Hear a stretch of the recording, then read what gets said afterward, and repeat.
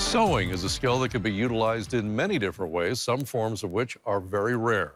Cassandra Mansell shows us how the Alutiiq Museum in Kodiak is helping anyone willing to learn access the historical knowledge of creating traditional Alutiiq clothing.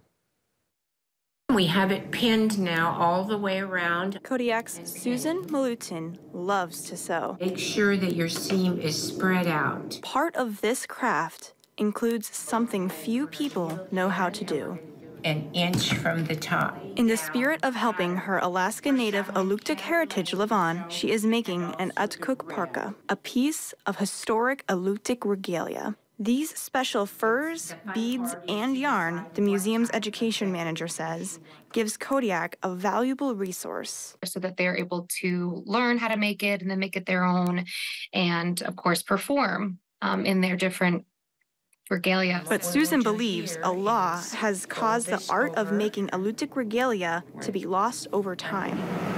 President Nixon signed the Marine Mammal Protection Act in 1972, making it illegal to hunt or capture marine animals without a permit. She says that restricted Kodiak's harvesting materials and made it harder for Native people to carry on traditions like this. My mom never forgot she was Native but really didn't know what that meant because of the restrictions.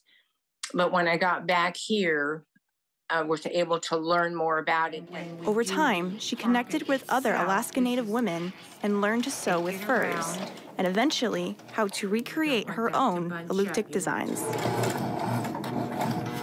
and then backstitch. Now, as part of the Alutiiq Museum's program, Susan helps teach these rare skills, including through online video tutorials, giving anyone the opportunity to learn how to make their own Utkuk parka. Piece by piece, the museum is showing how to create each part of the full regalia. Last year, we had done a headdress workshop. There was such a need for that that people were like, okay, now we have this piece of the dance regalia. Can we do more? Susan says she believes their ancestors' memories still live within each of them. So it's there. We just need to work with them and and show them that yes, they have the the ability um, and and the resources and the memory that their ancestors provided. She says she's seen it firsthand while now instructing based off the historic sewing she loves. Cassandra Mansell, Alaska's news source.